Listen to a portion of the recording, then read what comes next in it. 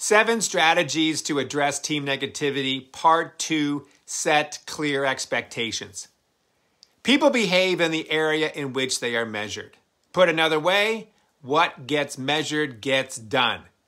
Team negativity is often caused by two things. Number one, a lack of clear expectations, and two, tolerating the negativity. Now, most of us do a pretty good job of setting expectations for the tasks we want our team members to do.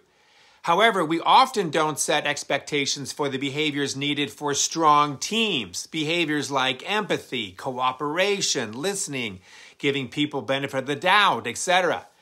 Leaders are often also weak at providing constructive criticism. For example, they aren't good with conflict. And over time, they tolerate the negativity in others to avoid the conflict. When leaders set expectations for tasks, and they set expectations for behaviors and attitudes, and provide regular feedback, team negativity becomes team positivity. Stay tuned for part three.